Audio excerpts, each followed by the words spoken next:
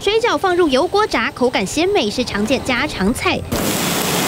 还有随处可见路边卖的烤香肠，也有很多民众来买。但你确定这些猪肉加工品产地真的都是台湾吗？标示上写台湾的，会不会担心里面有混到？那当然会了，一定会，当然当然会担心哦。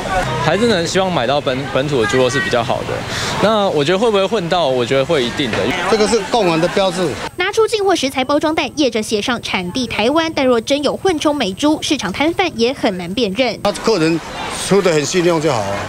那那如果这万一真的有混到，你会看得出来？看不出来，谁都看不出来了。就有猪肉摊老板质疑，若不肖业者把少量美国猪肉混入台湾猪肉，再做成香肠、热狗、贡丸等加工食品，最后贴上台湾产地标签，贩售给消费者，摊商根本看不出来，抽验也很困难。退冰以后可可以去搅拌啊，我们怎么知道说那种东西到底是进口还是问题？政府下令，餐厅业者散装包装食品都要贴上标示或挂上猪肉来源告示牌，包括贡丸、香肠等加工食品都要附上产地来源。未标示或标示不实，或是被验出残留量超标，计出最高两亿元重罚。来源证明都有，还有屠宰证明都有，贴标示哦。对，这样成本会加高不行。